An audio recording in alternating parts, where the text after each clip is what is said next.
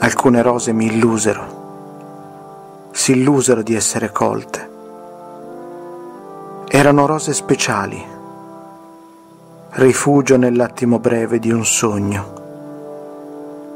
Ma quelle spine, quelle spine silenziose, ferivano nel profondo chi le coglieva, chi le offriva.